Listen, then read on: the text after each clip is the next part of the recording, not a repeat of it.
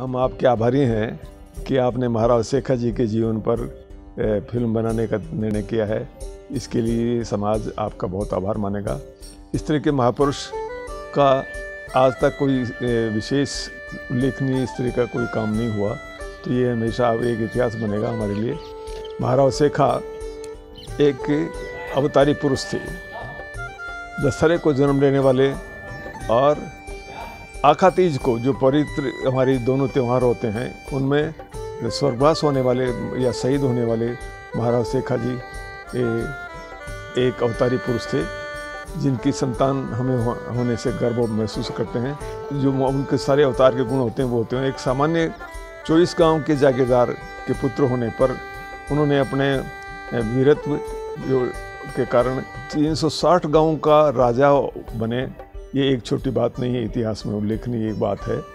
और सबसे बड़ी बात शेखा जी के जीवन की है, वो महिलाओं के, अबलाओं के सम्मान की, रक्षा के लिए प्राण देने वाले इस तरह के इतिहास पुरुष बहुत ही कम मिलते हैं। शेखा जी आदर्श थे हमारे, उसमें उन्होंने जो कुछ इस तरह की बातें विशेष हमें बताई, जिसका पालन शेखा और समाज अभी तक कर रहा है, उनमें मुख्य बात थी महिलाओं की सुरक्षा, सम्मान के लिए सर्वोच्च देना। शेखा जी का कहना था कि महिलाओं की रक्षा के लिए सबसे बड़ा बलिदान दे, देवें, वो भी छोटे से छोटा ही है। इस तरह के उनके बुज़ुर्ग ने जो हमें बताया रास्ता, उसका पीढ़ियों तक, आज तक शेखावतों ने पालन करते रहा। संपत सिंह जी बैठे हैं, इनके गाँव में दमोरा का एक उदाहरण है, जो शेखा जी ने जो हमें बताया, उसका पालन उन्होंने किया। संग्राम सिंह जी, दमोरा के एक छोटे से बहुत बड़े जागीरदार नहीं थे, लेकिन महान पुरुष थे, जो शेखा जी के चरित्र को चिरतार्थ किया उन्होंने। एक अब अनजान महिला की को एक मियाँ मुसलमान जो राजा था, वो उठा के ले गया और वो वहाँ गए उनके पीछे किया। उन्होंने अकेले उनकी सेना से लटा, लड़े हो और उन्होंने उस महिला की रक्षा के लिए अपना बलिदान दे दिया और महल्ले का को है इस तरह के बहुत से उदाहरण बने इस, हमारे शेखा जी के इतिहास में, चरित्र में। शेखा जी ने जो बात बताई, राज्य विस्तार के लिए, आमेर के राजा जी से उन्होंने कहा कि मैं जब लड़ाई हुई तो उनसे फैसला होने लगा तो उन फैसले में नरुजी बीच में आए। तो उन्होंने कहा कि मैं सब कुछ त्याग करने का तैयार हूँ, लेकिन वो मैं किसी के मातहत नहीं रहूँगा, स्वतंत्र रहूँगा, ये मेरी पहली शर्त है। और उस शर्त का उन्होंने डट कर के पालन किया और राजा जी को विवेश होकर के उनको स्वतंत्र राजा घोषित करना पड़ा। आज़ादी सबसे बड़ी चीज़ है, ये शेखा जी ने बताया। इसके लिए शेखावत अपने आज़ादी के लिए 600 सालों से संघर्ष करते रहे और शेखा जी के 360 गाँवों से 1400 गाँवों तक उन्होंने अपने राज्य का विस्तार कर लिया। उसमें सीकर और झुंझुनू के शेखावतों का बहुत योगदान रहा और इस तरह के अपने वहाँ उसी इलाके में शान सुख, शांति बनी रही।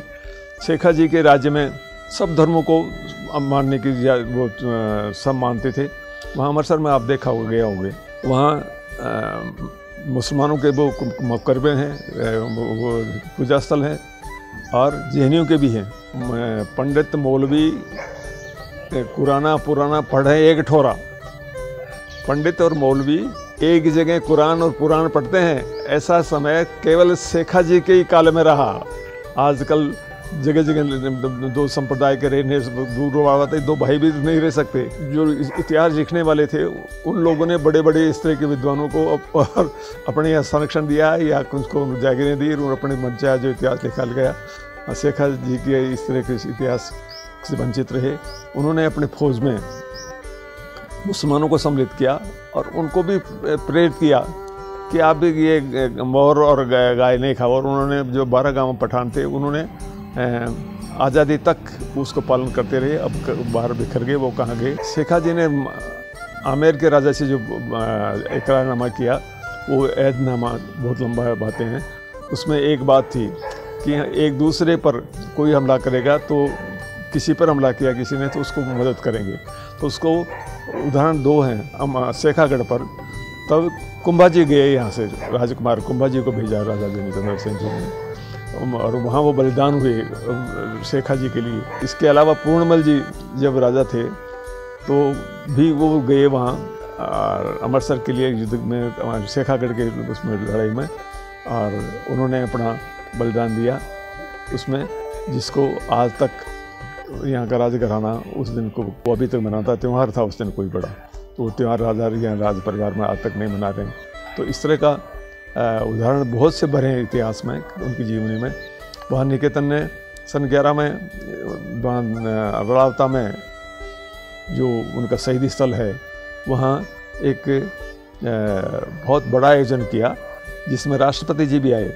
और राष्ट्रपति जी ने कहा कि ये मुझे बहुत खुशी की बात है कि महाराज शेखा जी के ये जो मूर्ति लगाई जा रही है, इसका अनावरण के लिए मुझे एक शेखावत होने से अवसर मिला। मैं बहुत खुश हूँ। शेख बुरहान के बारे में बहुत कुछ लोगों ने अपनी अपनी मर्ज़ी से कुछ, बहुत कुछ लिखा है। तो अब कितना सच्चा है, इतिहास उस समय विशेष लिखा नहीं जाता था। सुनी सुनाई कहानियों से अच्छा लगता है। लेकिन ये संपत सिंह जी करीरी से एक दिन बात की तो उन्होंने कहा कि ये चीज़ें भ्रमित करने वाली हैं। शेखा का मतलब शेषा। शेषा है, शेषनाग से शेषा बना है। उनके नाम से है। और उनका जन्म वो उनके पिता मोकल जी वहाँ जाते थे ब्रज में हर साल। वो बुढ़े होने लगे तो मुश्किल हो गई जाने तो उन्होंने जो गुरु थे उनके उन्होंने कहा कि अब वहीं रहो और वहीं पहाड़ी पर एक मंदिर है, वहाँ उनके दर्शन वहीं तुम्हारे पास में, वहीं दर्शन करो। तो वो उससे जुड़ा हुआ मामला है। अब आप उसमें खोज करिए और क्या सच्चाई उसमें निकलती है। तो इस तरह से शेखा जी के जीवन का संक्षेप में मैंने मैं कुछ बताया। यादाश्त की मेरी बुढ़ापे में कम हो गई है। आपको और लिख के दे सकता हूँ कुछ बातें जो लोगों को पास जानकारी नहीं